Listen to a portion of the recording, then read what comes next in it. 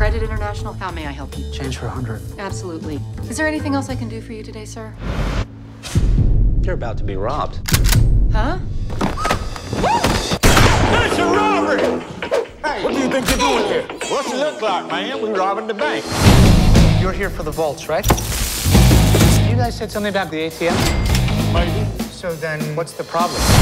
Are you seriously suggesting that we rob the same bank? Yeah. Why not? This guy's nuts. All right, this bank opens at 5 a.m. By that time, my colleagues and I will be long gone. You will not try to escape. You will not make noise. This is the most pathetic group of hostages I've ever seen. Already we're behind schedule. Our number three guy, Lancelot, is a psycho. we got two hillbillies in the lobby playing with weapons-grade plastic explosives.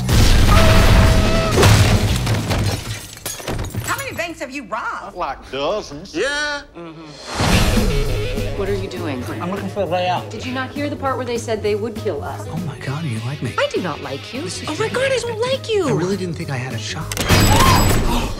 It's like extra sad when a hot chick dies. When an ugly chick dies, their life probably sucked anyway, so it's no big deal. Somebody murdered her, and they're gonna kill again soon. Did you murder the hot chick? No, we didn't, and I suppose you wankers didn't either, right? Nope. What is happening? There's only one possibility. This is not a bank robbery. This is an organized ambush. Oh, come on. If they want to kill us, we kill them first. Cool plan. I'm never gonna get out of this bank alive.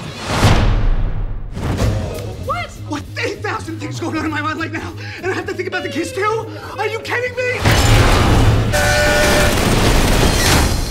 Please don't kill me on the toilet.